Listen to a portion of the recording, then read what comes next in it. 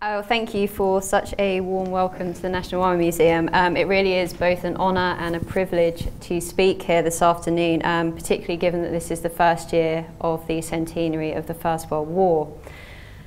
My talk um, today focuses on Passchendaele, and of course, as many of you are aware, the mere mention of the word Passchendaele conjures up images around the futility of war, bungling generalship, and mud. It's a name widely and misleadingly given to the Third Battle of Ypres, and it continues to dominate public perceptions of the First World War to this day. In his war memoirs, Britain's former wartime Prime Minister David Lloyd George devoted 27 pages to the successful Hundred Days Offensive of 1918. He devoted over 100 pages to Third Ypres. This is a campaign that has been fought and continues to be fought through the medium of print. Now my talk this afternoon um, will focus on just one day of the Third Ypres campaign, and that's the first Battle of Passchendaele on the 12th of October 1917. And it will focus on the performance of just one formation, the 9th Australian Infantry Brigade. So to give you a um, running order for the talk this afternoon, first off I'd like to talk about the 9th Brigade itself, who they were, when they arrived, what they did, before then providing some, what I think is important strategic context to First Passchendaele. Um, I think it is important to contextualise this operation um, with preceding battles. And then, if you'll excuse the pun, I want to take you through a bit of a blow-by-blow -blow account of the battle itself, just kind of highlighting some of the key personalities and the key actions on that day, before then going on to examine some of the factors that um, affected 9th Brigade's performance with a particular focus on its command and control systems. So to talk about the 9th Brigade first. They were formed in late 1915, early 1916 and uh, constituted the 33rd, 34th, 35th and 36th battalions. And the brigade had a very distinct regional identity in a way, it's quite similar to um, our own PALS battalions in the UK. The 33rd Battalion was drawn from the New England district, largely from Armidale, um, and they were known as New England's own. So you're kind of getting the resonance here with our PALS battalions. The 34th Battalion Maitland's Own were largely drawn from Maitland, just here, known as Maitland's Own. 35th Battalion were drawn from Newcastle but also from the wider Hunter region and they were known as Newcastle's own. And what's important, um, I suppose, with the 35th Battalion is that there was a high proportion of miners within that battalion as well, so it lent a social dimension alongside its regional affinity. The 36th Battalion, however, were recruited somewhat differently. They were known as Carmichael's Thousand, the battalion was recruited from local rifle clubs in New South Wales at the insistence of Ambrose Campbell Carmichael, who was the Minister for Public Information in the New South Wales government. And Carmichael himself um, had the courage of his convictions and enlisted in the 36th, serving as a captain at the sprightly age of 50. The 9th Brigade arrives in England in, on Salisbury Plain in July 1916 and it forms part of the 3rd Australian Division, who are commanded by Sir John Monash. And they're held up and still held up to be one of the most highly trained, tactically astute divisions in the Australian Imperial Force. After four months of intensive training on Salisbury Plain, drawing on the lessons of the Somme campaign, utilising the most up-to-date tactical doctrine, the division arrives in the trenches in November 1916. Brigadier General Alexander Jobson initially commands the brigade from its formation until August 1917 when he relinquishes command of the formation.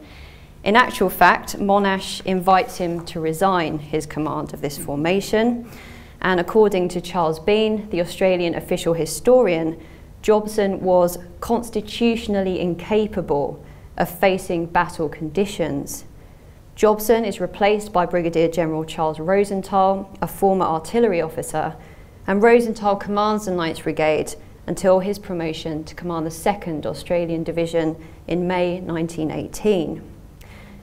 I think it's fair to say that the 9th Brigade had quite limited operational experience prior to 1st Passchendaele. It had been in France less than a year when it attacked on the 12th of October 1917. It had undertaken a large raid near Houplines, uh, yeah, near Houplines, near Armentières in early 1917. However, its real baptism of fire didn't come until the Battle of Messines in June 1917. And I think it's important to point out at this point that it performed well in both of these operations. So where does First Passchendaele fit um, within the wider Third Ypres campaign?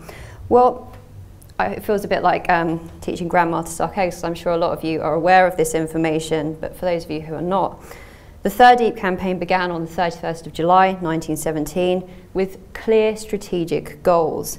Its aim was to drive the German army off the ridges east of Ypres, so here, um, before advancing um, east and northeast to capture the uh, key strategic railheads of um, Thourout here and Roulers. Um, an amphibious operation at, um, to capture Ostend up here um, was planned in conjunction with an assault from the coast at Nieuport. This would capture the two important channel ports, but it would also create a strategic pincer movement, forming a flank around which the Allies could attack the Germans in the rear. So this seems like eminently sensible, clear strategic goals. Responsibility for the campaign was initially granted to General Sir Hubert Gough, commander of the Fifth Army. The attacks of August 1917 had overambitious objectives and they were extremely costly. Not only were the operations hampered by atrocious rainfall, but they were typified by poor planning and inadequate preparation. By the 25th of August 1917, Haig decides to transfer operational responsibility to General Sir Herbert Plumer. Plumer and his staff at Second Army planned a series of limited objective, bite and hold operations. These were organised in great depth, they used fresh formations to leapfrog one another, and they benefit from very heavy creeping and standing barrages. Between late September and early October 1917, the battles of Menin Road, Polygon Wood and Broodseinde were fought to great effect, and they appeared to vindicate bite and hold as a foolproof method of combating the German defensive system. However, the dry weather of September broke after the attack on Broodseinde on the 4th of October and there followed the heaviest rainfall in the region in 75 years. And the thing with this dry weather prior to the downfall is it actually masked the reality of a forward communication system that was completely inadequate and close to collapse. But in spite of this inadequacy and the torrential rain, two further assaults were agreed, forming the third phase of this campaign. The Battle of Poelcapelle on the 9th of October was fought by two relatively inexperienced British divisions serving in 2nd Anzac, the 49th and the 66th. The result was a costly failure. Poor preparation, poor communications and weak artillery support contributed significantly to this operation's failure.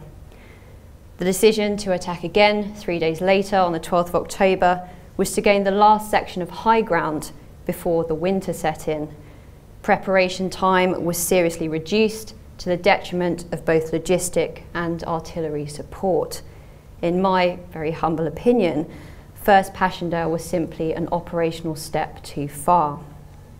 Now what I want to do for this next section is, again, kind of talk you through the battle and pull out some of these key personalities and actions. So um, I hope you can see some of the maps. I'll use the laser if not. This um, was very, the first Battle of Passchendaele was very much a second Anzac operation. Um, it operates with the New Zealand Division and the 3rd Australian Division in the front. It does have support from 1st Anzac Corps in the form of the 12th Brigade that are drawn from the 4th Division. Um, the uh, task for the divisions on the day, New Zealand Division were to take the um, Bellevue Spur on the left here, which is kind of just running along here. The 3rd Division were to take the main Passchendaele Ridge here, and the 12th Brigade were to provide a flank guard for the 3rd Division. Now, I think if any of you have been across this ground, um, you'll know that this area is kind of dominated by um, three spurs that sit in kind of an E shape, kind of here. Um, and basically what this means is defenders on each spur can support each other with flanking fire. And 9th Brigade itself is subject to both reverse fire and enfilade fire throughout the operation itself. The objectives uh, for 3rd Division's attack, um, the first objective, the red line, that's an initial advance of 1,200 yards. The blue line, second objective, further 500 yards. And the green line just beyond Passchendaele village is a final um, 765 yards. The total depth of attack on the 12th of October is approximately 2,500 yards these objectives were almost double those set to the 49th and 66th Divisions um, on the 9th of October, three days earlier. To focus down on a bit of the nitty gritty here, the axis of 9th Brigade's assault actually runs diagonal to the axis of the ridge line. Now, if anyone has tried to kind of negotiate this, um, it generally goes against the tendency to, to follow the contour line. So basically what you get here is kind of a wedge developing where battalions start following the ridge line, which causes all kinds of contact problems with this formation here. So 9th Brigade start going up here. Um, and as we'll see later, those contact problems and communication problems are incredibly important. The taking of objectives. Um, this is typical Second Army um, the way of doing things really in operations. They leapfrog battalions. So the 34th Battalion is to take the red line, 35th Battalion to pass through them, to take the blue line, and 36th Battalion to pass through both of them, to take the green line. 33rd Battalion down here are held um, in divisional reserve before being passed um, to command of brigade at midday, but they were only to be used if the 10th Brigade operating in this sector gets held up. This is an incredibly contentious issue between Rosenthal and Monash. Um, it highlights a number of command and exploitation problems, uh, which I'll discuss later on in the talk. The battle itself. It commences at 5.25 in the morning on the 12th of October. The approach march and the initial stages are incredibly difficult. Not only does it take approximately four hours to traverse the one mile between Zonnebeke and Tyne Cot. The approach is um, hampered by enemy shelling and heavy machine gun fire. In fact, intelligence reports from 2nd Anzac suggest that the 6th and 8th Jaeger regiments, part of the 195th Division that are facing 2nd Anzac, actually have double allowances of light and heavy machine guns, and these are all employed in depth. This attack is not a surprise to the Germans opposite.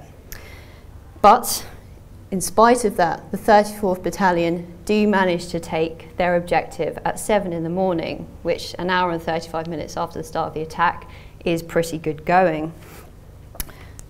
This picture, again, it feels a bit strange showing this picture because it's a beautiful sunny day in Belgium and obviously it wasn't on the 12th of October 1917. But this is to provide a bit of context. So you've got Passchendaele Church in the, uh, the background there.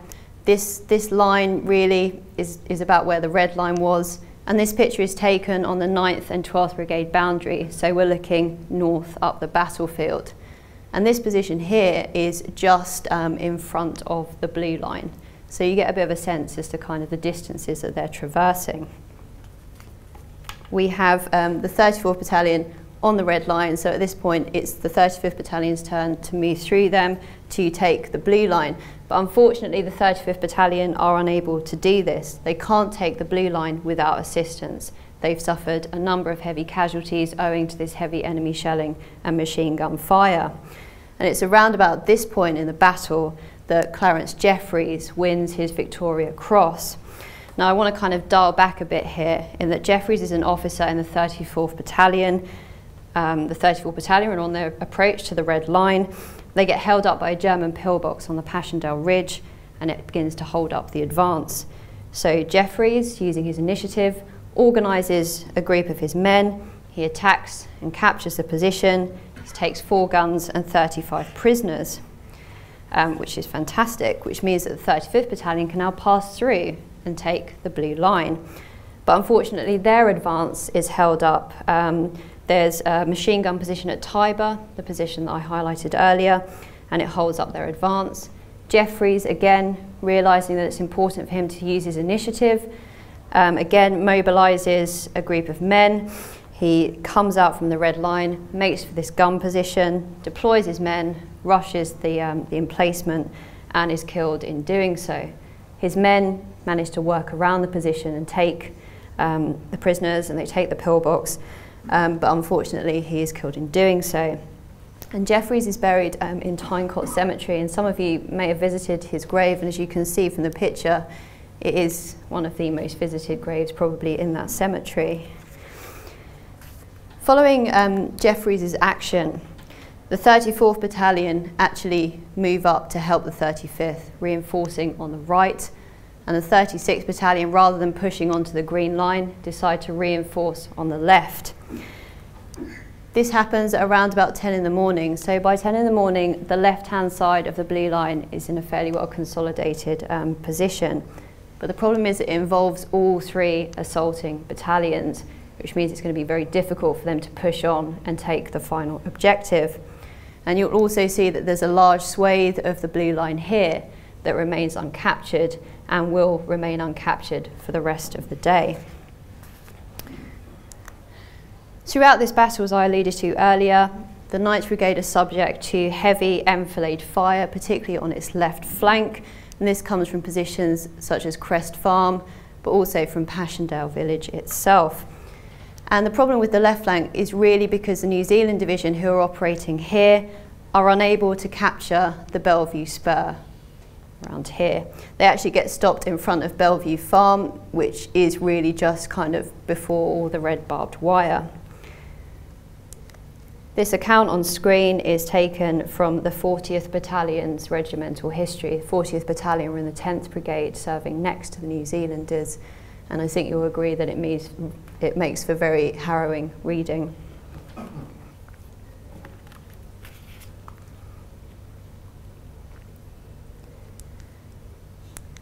not only was enfilade fire received from the left flank, but it was also received on the right, again from this position Tiber, Assyria, and also a position that's just off the screen down here called the Keiberg.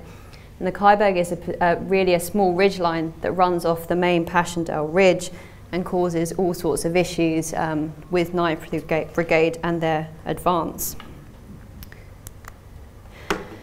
The 9th Brigade, unsurprisingly perhaps, are, are unable to hold on to the blue line owing to heavy fire and a loss of support on both flanks. The blue line is on a forward slope, which means that it's under direct observation from the east, but also from the south in these positions here. Divisional orders are for the blue line to be held at all costs, but this was simply impossible due to fire and heavy casualties. So the 9th Brigade decided to withdraw from the blue line between 3 and 4 o'clock in the afternoon. They had been in this position for almost six hours, sustaining incredibly heavy casualties. Now, unfortunately, there was no chance to reconnoitre the positions behind them. They ended up withdrawing beyond the red line and actually dug in just in advance of their jump off point. The order to withdraw was given by Major Henry Carr, uh, officer in the 35th Battalion, and a senior, the senior officer on the blue line at that time, so it was his judgment call to make. And his actions resulted in a court of inquiry to ascertain why the 9th Brigade decided to withdraw from this position. Prior to the withdrawal, as you can see from the map, they made fairly um, substantial advance of about 1,700 yards, the furthest advance on the 12th of October, but this came at a heavy cost. They were suffering about 70% officer casualties and about 67% casualties for other ranks. So this was not um, a cheap operation. And this picture on screen is the Defy crossing, and this marks the limit of the Australians' advance on the 12th of October. And the reason I put that up is to kind of show you the type of churned up terrain that these troops are having to attack across on the 12th of October. So that was the battle. What can we deduce then about 9th Brigade's performance in this operation? Well, in my view, past performance, particularly in Messines, suggests that the 9th Brigade was a good, steady formation. And I think this is really evidenced by the six hours it spent on the Blue Line under very heavy fire. But I do think that its performance was subject to factors, some of which were outside of its control. First, I would say is the lack of preparation time. The brigade had at best three days to prepare for this attack, and this detrimentally affected their artillery and logistic support. Second point, inclement weather. The rain was unseasonably heavy for this time of year. In fact, it was twice the average rainfall for October and November. This affected the state of the ground, it slowed the infantry and their ability to keep up with the artillery barrage, and of course, because of the state of the ground, it meant that the graze fuse on the shells didn't have enough resistance to detonate, so the shells were pretty much just ploughing into the mud. Monash writes to Alec Godley, the commander of the 2nd Anzac Corps, stating that all the reasons of the failure of the attack to achieve its objectives may be summed up in the condition of the ground. The third point, depth of objectives. These were double those assigned to the 66th and 49th Divisions, for the 9th Brigade, this operation is very much a case of diminishing returns. It's attacking over churned up ground, it's not able to destroy the enemy's guns, and I think this is one of the key problems with bite and hold, particularly in this kind of um, weather. And also, I think that this operation has something of an identity crisis. The objectives suggest that it's a deliberate attack. The preparation time suggests that it's a quick attack, and I think there's a bit of a kind of mismatch there in, in the understanding of this operation, particularly at the time. The final point is command and control. Now, this is something that a brigade can exert some kind of control over. And really, as the decision to withdraw is a command decision, this is the area that I really want to pick up on for the rest of the talk this afternoon. My aim is to treat command like an onion, really. I want to peel back the layers from division down to company to really ascertain who was aware of what and potentially to deduce the weak link in the chain of command. So to start at the top, as I mentioned earlier, the commander of 3rd Division at this time is General um, Monash. He's an engineer by trade. He joins the militia in 1884 as an artillery officer, and he actually only becomes a professional soldier just before the outbreak of war. And he's given command of the 4th um, Australian Infantry Brigade he serves um, with distinction at Gallipoli. And as a result of this in 1916, Monash is promoted and given command of the 3rd Australian Division. And he commands this division from its inception and is able to put his own indelible mark on this formation. But he's not without his critics. Monash and his staff's performance at 1st Passchendaele has come under quite severe criticism, not only from contemporaries at the time, but also from historians since. Edmund Ironside, a staff officer in the 4th Canadian Division, wrote, I found Monash and Peter Jackson, Monash's GSO 1, in a dugout in the ramparts of Ypres, from which they had directed the attack without either having been to see the ground before or after the attack, which failed disastrously.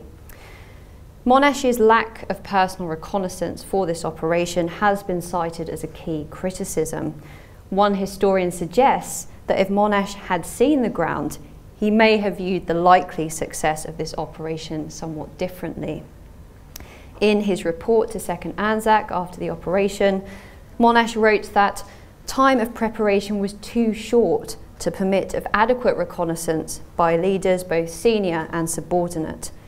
This lack of preparation time meant that his orders were transferred verbally rather than in writing. Um, discussion and conferencing were gaining ground by 1917 with the beginnings of a return to principles rather than the precise and detailed orders that typify the campaigns, um, particularly the Somme campaign and earlier. I think personally one of the problems with Monash is his tendency towards very hands-on command he likes to micromanage his subordinates. even though they are incredibly competent. He was known to usurp the role of his brigadiers. He would state how they must employ their battalions. And this goes against the, the great military adage of see down two levels, command down one. And this tendency towards micromanagement would manifest itself with quite painful effect at 1st Passchendaele, with the example of the 33rd Battalion, who were held in divisional reserve until midday. In a message to the 9th Brigade at half 11 in the morning, Monash wrote that the 33rd Battalion will probably be available for your own use, but must not be committed without first referring to me. And this actually countered official guidance found at the top of the army that recommended the man on the spot is the best man to judge when the situation is favourable for pushing on, and higher commanders in rear must be prepared to support the man on the spot to the fullest extent. And I think when we go through and assess the different levels of command and their performance, it's important to bear this guidance in mind, particularly when we look at the next level brigade. The commander of 9th Brigade, Charles Rosenthal, he's a former artillery officer who had previously held the position of Commander Royal Artillery in the 4th Australian Division. He had been in command of the 9th Brigade for less than two months before 1st Passchendaele. And I think it's important to note that 1st Passchendaele was Rosenthal's first operation, not only as a brigade commander, but also as an infantry commander as well. But it's quite clear from his personal diary that he takes this job pretty seriously. He um, writes how he's consulted all and sundry publications from the General Staff on infantry work. So he's clearly trying to learn as much as he can before he's thrown into this operation. But I think it's important to put Rosenthal into a bit of context here. As I mentioned earlier, Alexander Jobson, his predecessor, had been forced to resign. Monash didn't believe that Jobson was capable of, and I quote, exercising strong and determined command and leadership, Monash was concerned that the brigade wasn't pulling together, units weren't doing what they were told, and this legacy is so important when assessing Rosenthal's behaviour during the operation, but also his behaviour afterwards. Rosenthal is, quite, um, is quite candid in his diary. He confessed um, quite considerable doubts um, over the rushed nature of the preparations, and he believed that there was very little time to prepare for this and his actual ability to affect the course of the battle itself was negligible. And this is in part due to the fact that there was no buried cable beyond brigade headquarters, which meant that runners and visual were the only methods for communicating forward of brigade. He often was unaware of the situation for many hours, and it's little wonder that in his after action report he wrote that better results would be obtained if brigade commanders could be in personal touch with battalion commanders and thus promptly able to organise assistance where most required. Rosenthal's inability to affect the course of the battle um, is further undermined by the lack of control over the 33rd Battalion. He did not receive control until midday, by which time the battle had effectively bogged down and there was insufficient opportunity for him to employ his reserves effectively. Generally, this isn't just limited to the, to the um, first Passchendaele operation. There did seem to be a lack of consistency across the board with regards to the role of brigade commander, particularly around whether they should be going forward and leading or staying back and commanding. And this inconsistent doctrine, coupled with Monash's top-heavy micromanagement, limited Rosenthal's options substantially during this operation. It was under Rosenthal's orders that a court of inquiry was held to what he called get at the facts regarding 9th Brigade's withdrawal from the Blue Line. The court was presided over by Lieutenant Colonel Leslie Morshead. Some of you might be familiar with him and his Second World War fame. It examined 19 witnesses of all ranks across all battalions, and it primarily focused on the actions of Major Henry Carr, the man responsible for giving the order to withdraw. Now, it's important to note that no other courts of inquiry were actually held within the 3rd Division, despite 10th Brigade also deciding to withdraw from their first line objective. The inquiry wasn't really an exercise in trying to blame someone, it was more to highlight areas of improvement. And I think, in my opinion, Rosenthal requested this court of inquiry almost as an act of self preservation. First Passchendaele is his first operation, it's not a particularly successful one. And I think, bearing in mind the legacy of his predecessor as well, Rosenthal wants to weed out poor performance and he wants to put his own mark on this formation and show that he's not um, weak when it comes to weeding out poor performance. One of the key findings of the Court of Inquiry focused on the performance of the brigade's battalion commanders. The findings stated that commanders, and I quote, should have gone forward and personally taken hold of the situation. By this, battalion command appears to be the weak link, although I think this is really exacerbated by poor communications and also relative command inexperience in the field of battle itself. Along with a lack of buried cable back to brigade headquarters, all battalion commanders were in the same headquarters at a place called Seine House. Um, and really this picture is just to kind of show you the type of conditions. This is the road going back to brigade headquarters. So if you're a runner trying to get down that road, it's going to be pretty difficult. Conditions were cramped, they were dangerous, and as the 33rd Battalion's after action report stated, there shouldn't have been more than two COs in that headquarters.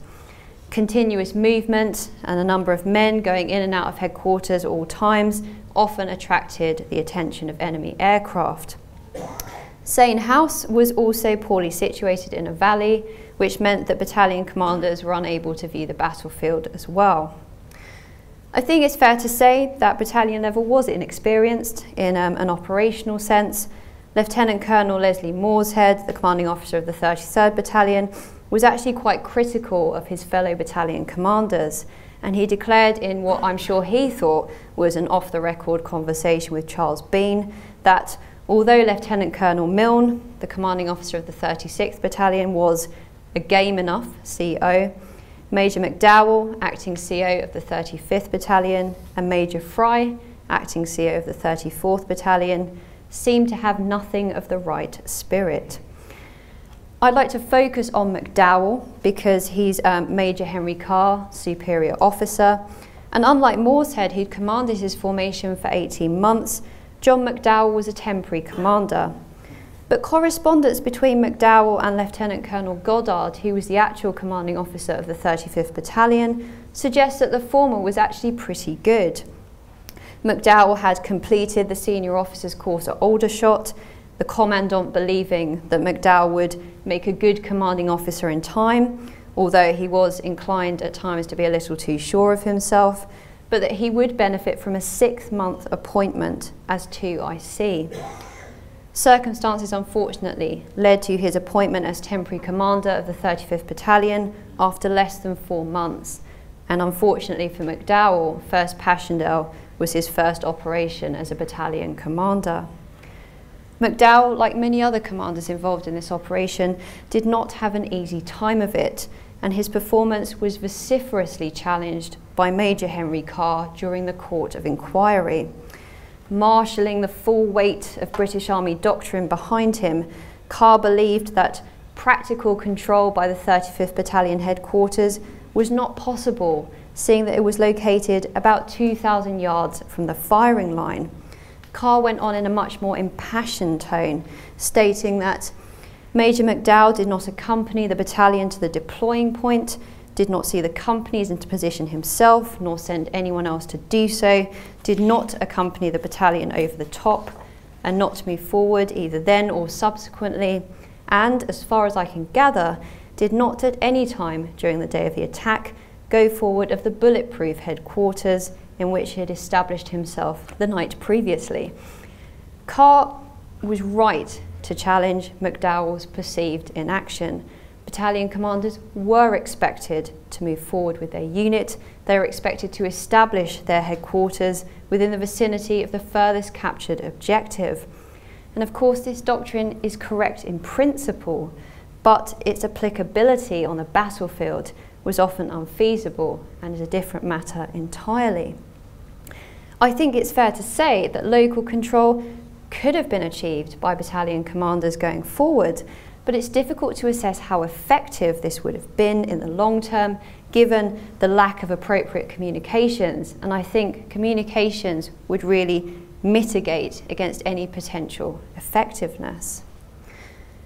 Turning to my final level of command this afternoon, company command. 1917 was an incredibly important year for the tactical level of command. It sees the publication of SS 143 and with it a revision of platoon tactics and organisation. Tactical decentralisation renews the emphasis on devolved command and the need for company and platoon commanders to rely to an even greater extent on their own initiative. This, of course, again, is fine in principle. However, within the 9th Brigade initiative and low-level command was seriously undermined, not only by the heavy casualties they sustained, but also again by these incredibly poor communications. The casualty rate, as I mentioned earlier, amongst officers in the 9th Brigade was approximately 70% and out of the 55 officers killed, 15 of these were company commanders. High officer casualties had the unfortunate effect of lessening the impact of local level command. This led to a reliance on the battalion commanders, leading to a centralisation of command back up the chain. But as I've mentioned, owing to poor communications, battalion commanders were unable to affect the course of the battle, so what you get here is the beginning of something like a command vacuum on the 12th of October. Communication, and I know I keep banging on about it, but it was a massive problem, particularly at company level. The experience of Major Giblin, an officer in the 40th Battalion in the 10th Brigade, offers a good example of this. Giblin sent a message at 8.40am informing his brigade headquarters that he did not have enough men to advance to the Blue Line. He had still received no reply to this message at half one in the afternoon. Captain Dixon, a company commander in the 35th Battalion, received only one message from his battalion during the course of the day. Major Henry Carr had 16 messages sent to him from the 35th Battalion. However, his decision to withdraw was, based, um, was given on his own initiative based on the fact that he hadn't received any instructions from his battalion headquarters. What's important to realise, aside from the fact that the communications were unreliable, is that Carr takes responsibility for the situation as he's experiencing it. He makes a command decision, and again, let's hark back to the guidance that's coming down from the very top of the army about deference to the man on the spot who is there witnessing what's going on. But to focus on Carr for the rest of this section, up to the point of withdrawal, Carr's work had been excellent. He had shown, and I quote, considerable courage, endurance, and good control during the advance. The Court of Inquiry, unsurprisingly, revealed that Carr's lack of reconnaissance prior to withdrawal was a grave error. But Leslie Morshead, the president, was sympathetic to Carr's situation, writing that, I fully appreciate Major Carr's difficulties, that he had no officers and few men, that he was under the impression that the 34th Battalion was still on the red line and consequently would show a decided feature on which the men would pull up. Unfortunately, this wasn't the case. The experience of Captain Alex Patterson, an officer in the 39th Battalion 10th Brigade, offers a very interesting contrast to Major Carr's experience of 1st Passchendaele, and one that's worth exploring. Patterson, similarly to Carr, was the only unwounded senior officer of his battalion, or in, of his brigade. Patterson, in conference with junior officers, decides to withdraw to a line just in advance of the jumping off point. Both Patterson and Carr use their initiative, except Carr is rewarded with a court of inquiry, whilst Patterson's promoted to major and recommended for a bar to his military cross. Such are the fortunes of war. Initiative is a highly desirable trait, particularly at the tactical level of command.